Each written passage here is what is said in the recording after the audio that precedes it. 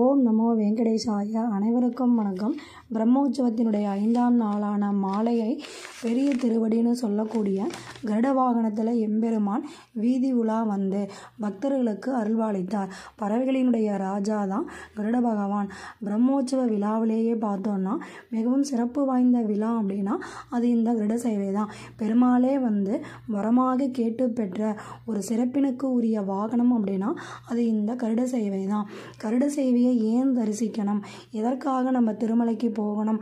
அப்படிங்கிற ஒரு காரணமும் நம்ம எல்லாருமே தெரிஞ்சுக்கலாம்.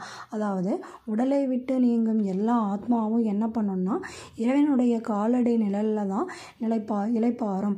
ஆனால் சில கர்ம வினைகளினுடைய காரணமாக சில ஆத்மா என்ன பண்ணும் அப்படின்னா இறைவனுடைய பாதத்தை அடைய இயலாது. அத்தகைய ஆத்மாக்கள் என்ன பண்ணும்னா தங்கள் துன்பத்திலிருந்து விடுபட நம்ம கஷ்டத்திலிருந்து விடுபடுறதுக்காகவும் திருமலையில் என்ன பண்ணும் ஆத்மாக்கள்லாம் அப்படின்னா கருட சேவை அன்னைக்கு பூலோகம் வர கருடன் மற்றும் பெருமாளினுடைய அனுமதி பெற்று திருமலைக்கு கருட சேவையை காண அன்று ஒரு நாள் மட்டும் வருவாங்க. அப்படி வரக்கூடிய அந்த நாளில் நாம்பளும் வந்து கருட சேவையை காண போனோம் அப்படின்னா அவங்க அவங்களுடைய ஆசீர்வாதம் நமக்கு கிடைக்கும். அவங்களும் என்ன பண்ணுவாங்கன்னா நம்ம குடும்பத்தை சார்ந்த யாராவது வந்து வந்திருக்காங்களா அப்படின்னு ரொம்ப எதிர்பார்த்து காத்திருப்பாங்களாமா கருட சேவை அன்னைக்கு. அப்படி நம்ம போய் கருட சேவையை தரிசனம் பண்ணும்போது பெருமாளினுடைய அருள் ஆசையும் நம் முன்னோர்களுடைய ஆசையும் நமக்கு ஒரு சேர கிடைக்கும். நம் முன்னோர்களுடைய ஆசி நம்ம பெறதுனால நம்ம வாழ்வும் வளமும் நலமாக இருக்கும் அப்படின்னு சொல்லப்படுது.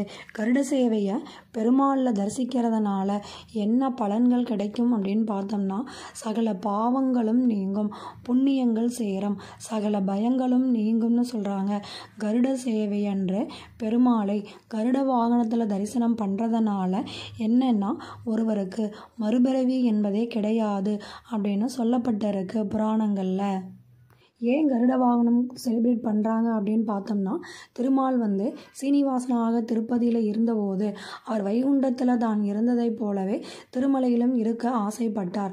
அந்த ஆசையை அறிந்து கொண்ட கருட பகவான் வைகுண்டத்தில் இருக்கக்கூடிய ஏழு மலைகளையும் பெயர்த்து எடுத்து வந்து திருமலையில் சேர்த்தார்.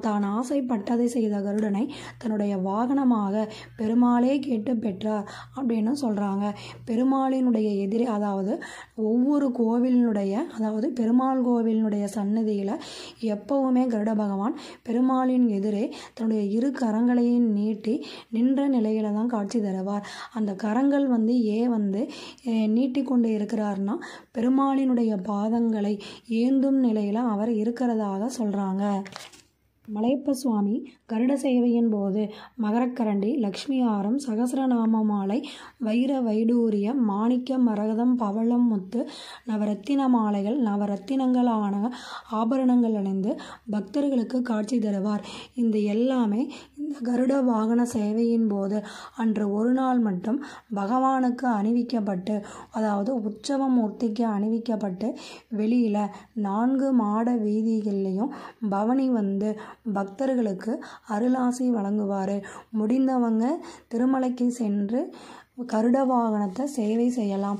முடியாதவங்க எஸ்விபி சேனலில் தமிழ் தெலுங்கு ஆகிய இரு மொழிகள்லையும் ஒளிபரப்புகிறாங்க அனைவரும் பார்த்து மகிழுங்கள். நன்றி.